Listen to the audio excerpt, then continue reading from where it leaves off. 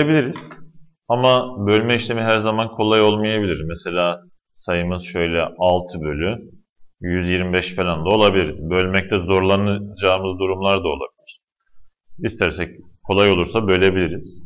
Yani şunu yaparsak 8'i 25'e bölersek şurada ortaya çıkacak sayı ondalıklı gösterimi olacak. Tabii kalan bırakmayacağız. Kalan sıfır olana kadar devam edeceğiz. Veya şunu yapabiliriz. 8 bölü 25 ifadesini alalım.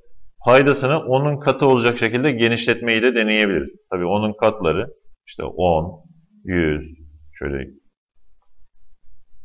10, 100, işte 1000, 10.000 vesaire olacak şekilde düzenleyebiliriz. Biz bunun paydasını 100 yapabiliriz. 4'te genişletirsek.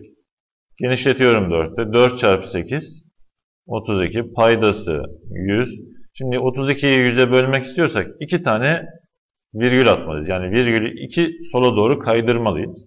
Şöyle yazarız. Normalde virgülümüz şurada. Sayının en sağındadır. Bir virgül kaydırırsak buraya gelir. Bir kez daha kaydırırsak şuraya gelecek. Yani bizim sonucumuz 0 virgül 32 olacak. Ondalıklı karşılığı bu.